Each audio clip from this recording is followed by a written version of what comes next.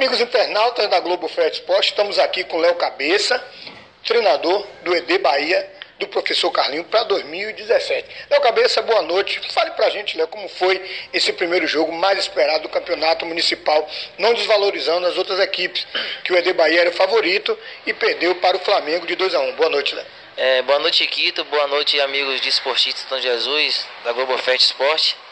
É, na realidade, a gente fez um trabalho, né, Chiquito, de no intuito de buscar o, o campeonato de 2017. Então montamos um elenco muito forte.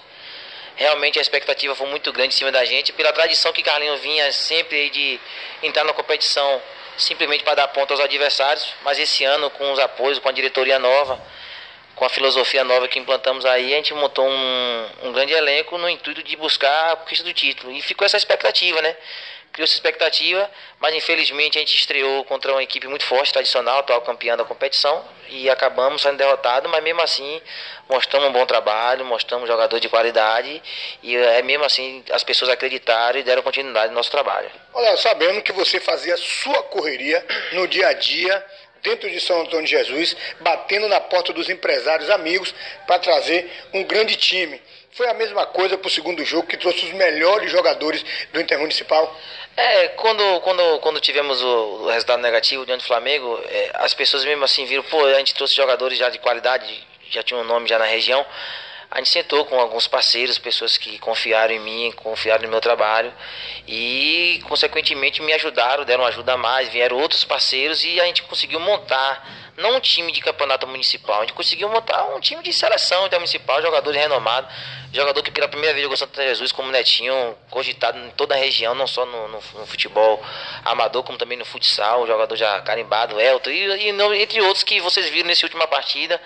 É, é, a situação que aconteceu, né? Uma equipe que mostrou a qualidade dentro de campo, foi com muito trabalho, com muita dificuldade. Agradecer as pessoas que ajudaram. Não vou ficar citando o nome para a gente não ficar esquecendo de um ou outro, mas muita gente ajudou e acreditou no nosso trabalho e o resultado vem dentro de campo.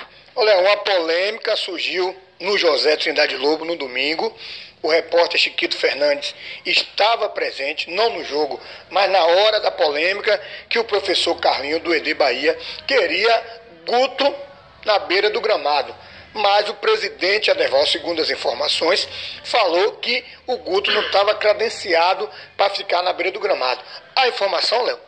Chiquito, é, como a gente tem uma amizade muito grande, eu, e eu até agradeço a você por conceder essa entrevista para esclarecer algumas coisas.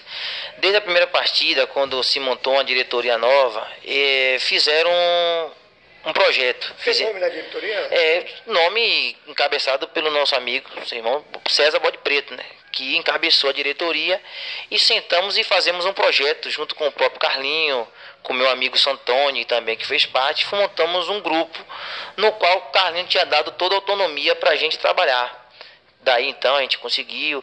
E assim, Chiquito, foi aos tancos e barrancos. Muitas pessoas ainda me alertaram: Léo, não vá, não vá. Eu digo: não, vamos ajudar concedi algumas entrevistas, é, já tinha feito um trabalho no Clube Dormir como treinador e tive essa oportunidade, onde a gente conseguiu lá o vice-campeonato com uma competição difícil, então aceitou o desafio no estádio, com o apoio, com o aval da diretoria, né, comandada pelo Bode Preto, e com Carlinho, com o presidente Carlinho também.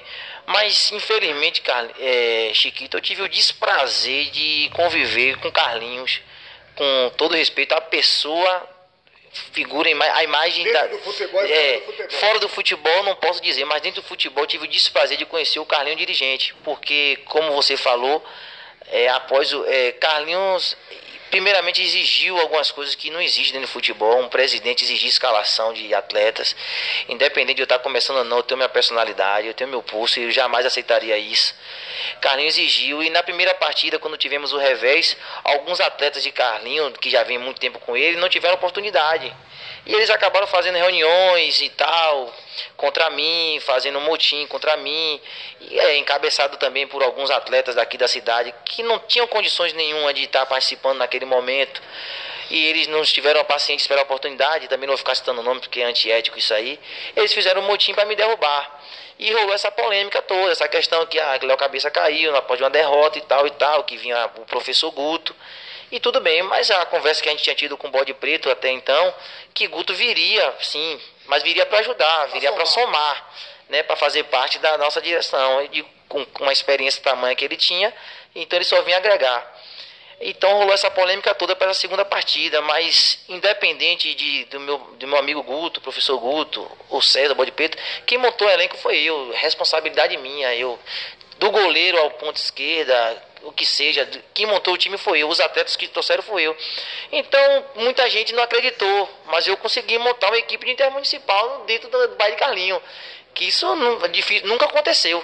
Léo, eu também fiquei sabendo, segundo as informações, não sei se há veracidade no fato, que o professor Carlinho, Antônio César, conhecido como Bode Preto, quer botar Guto no próximo jogo do ED Bahia no Campeonato Municipal de São Antônio de Jesus. Há veracidade no fato, Léo? Sim, Carlinho, é, sim, Esquito, como eu vinha falando, né? Aí o que aconteceu? Houve várias discussões durante a semana até a montagem do elenco para essa partida contra o rodoviário houve várias discussões, então o que aconteceu foi que realmente, tanto o Bode Preto como o Carlinhos, eles se juntaram, fizeram o convite ao professor Guto para Guto assumir o comando técnico. Mas, é, independente de qualquer situação, o que aconteceu foi o seguinte, ele não deu tempo, não teve tempo hábil de dar entrada na carteirinha de, de comando técnico e não pôde ficar no banco. Mas mesmo se ele tivesse, e dificilmente Guto assumiria o comando, Chiquito, porque, como lhe falei, os jogadores me abraçaram, confiaram em mim, vieram por minha causa e tivemos a reunião no Clube do 100 junto com o professor Guto e os jogadores falaram que se eu não fosse para campo ninguém iria.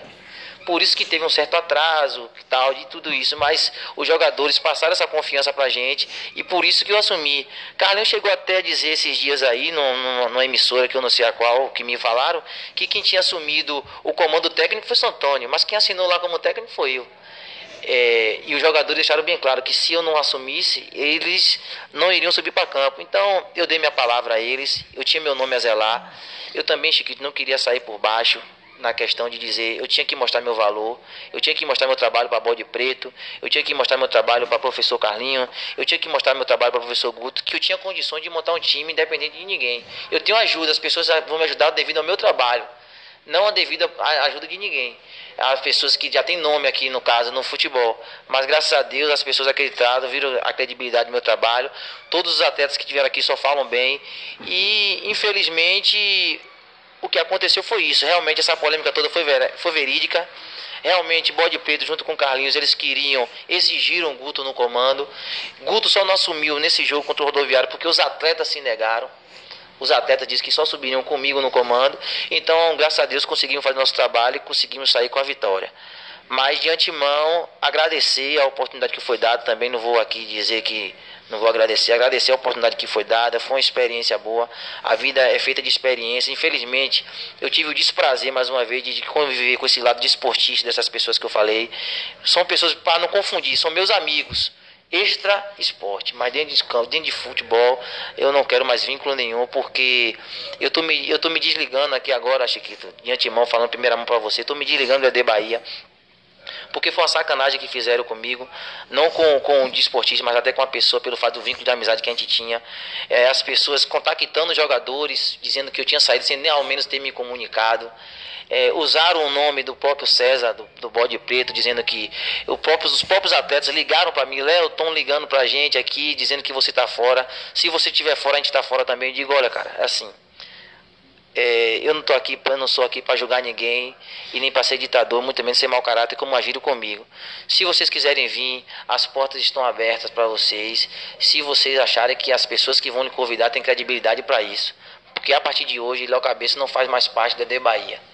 A partir de hoje, Léo Cabeça agora é só um desportista que vai prestigiar o campeonato, entendeu? Torcer para as coisas acontecerem da melhor forma possível, torcer para que a liga continue com o seu trabalho bem feito e de antemão as pessoas que, que muitas vezes que muita gente pode julgar, pode falar uma coisa, mas tem que saber conviver primeiro para saber a veracidade das coisas.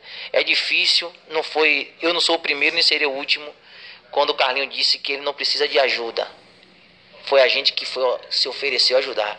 Então que continue o baile de Carlinho, que não vai acabar com Carlinho, que continue com o bode também, com o professor Guto, que caso vier também, que é uma pessoa que eu não tenho nada que falar, pessoa amiga, mas cada um tem sua metodologia de trabalho e sua forma de conduta com as pessoas. Mas hoje Léo Cabeça não faz mais parte da De Bahia. Para a gente fechar com chave de ouro, Léo está aberto para proposta para os outros clubes?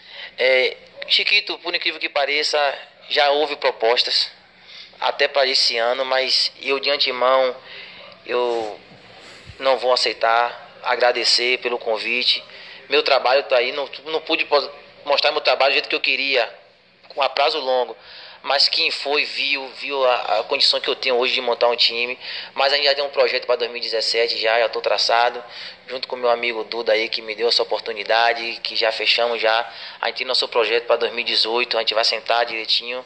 E a gente hoje a gente tem que trabalhar com pessoas sérias de credibilidade. Então hoje, meu projeto hoje está fechado com Duda aí para um projeto audacioso que a gente tem para o ano que vem. Tomara que dê certo, tudo na vontade de Deus, mas para esse ano mesmo, a decepção foi grande, mas é nas decepções que a gente aprende, né? São as lições da vida.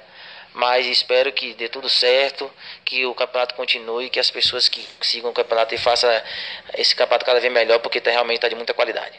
Meu cabeça, muito obrigado mais uma vez falar nos microfones potentes da Globo Fed Esporte. Chiquito, eu que agradeço mais uma vez por dar essa oportunidade de estar falando para os amigos aí, esportistas, e também dar uma satisfação às pessoas que acreditaram em mim, que me ajudaram. Eu peço desculpas, que eu sei que muita gente veio ajudar e apoiar o Bahia Carlinho devido a mim, devido a eu bater na porta e pedir que acreditaram no meu trabalho. Eu peço desculpas, mas infelizmente são coisas da vida, não foi culpa minha é, fizeram de agiram de má fé comigo e eu não sei trabalhar assim, não sei trabalhar com pessoas que eu não tenho confiança, não sei trabalhar com pessoas que não acreditam no seu trabalho, que pela frente falam uma coisa, por trás falam outra. Eu acho que infelizmente eu não tenho condições de trabalhar dessa forma. Então é melhor você se desligar para não se desgastar. Então, mais uma vez, agradecer as pessoas que acreditaram no meu trabalho. Espero que vocês continuem acreditando que em 2018 a gente pode ter coisas melhores. Muito obrigado.